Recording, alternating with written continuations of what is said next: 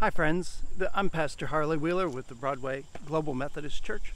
Uh, I want to read to you from Zephaniah chapter 3, verses 3 through 5. It says, Her officials within her are roaring lions.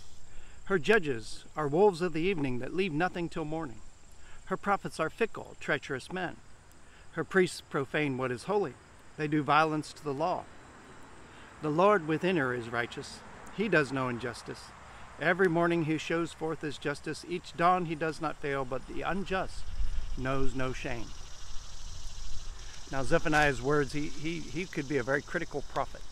And he says, you know, look at, look at the officials here. Look at the people who are leading. And uh, we, we sense corruption, we sense self seeking, we sense indeed cruelty, we sense the sort of um, venality and, and, and uh, desire to advance yourself that they would they would steal it at night and leave nothing left. And so Zephaniah says, "But the Lord within her, he is righteous. He has not changed. Just because the character of people change, even though you might look around and say the times have changed, uh, though there, we're running out of people who say it was a whole lot better when I was young.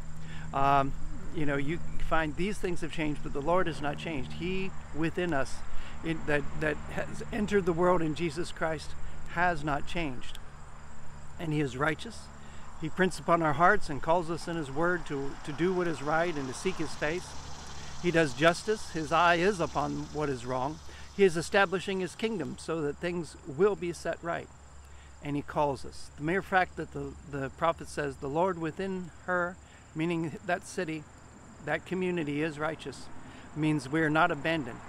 We may seek the Lord while He may be found. Seek the Lord, follow after His word today. Be blessed.